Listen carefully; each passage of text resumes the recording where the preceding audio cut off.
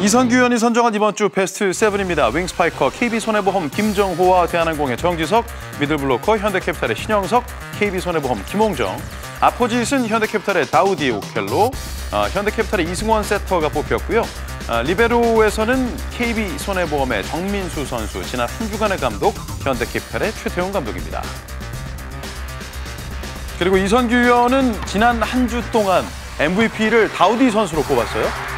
네, 다우디 선수 어, 삼성전에 22득점, 어, 공격 성공률 69%, 예. 그 우리카드전에 28득점, 공격, 공격 성공률 59%를 보여주면서 어, 3대 0 지금 3연승을 달리는데 정말 큰 몫을 하고 있고요. 예. 그 득점도 득점이지만 이 선수가 정말 잘했다고 보는 거는 공격 성공률이 69% 59%가 나왔어요. 그렇죠. 어, 그거는 정말 그 상대방의 막는 입장에서는 이 정도 공격 성공률이면 아, 정말 허탈함을 주는 그런 공격 성공률을 보여주고 있습니다. 예.